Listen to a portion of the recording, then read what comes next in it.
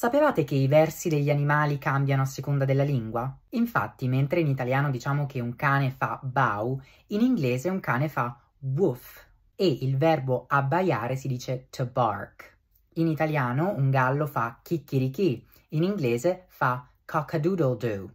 Poi questa è mind-blowing. Una rana che per noi fa cra cra, in inglese fa ribbit. Effettivamente la ricorda molto, ribbit, ribbit. Gracidare comunque si dice to croak.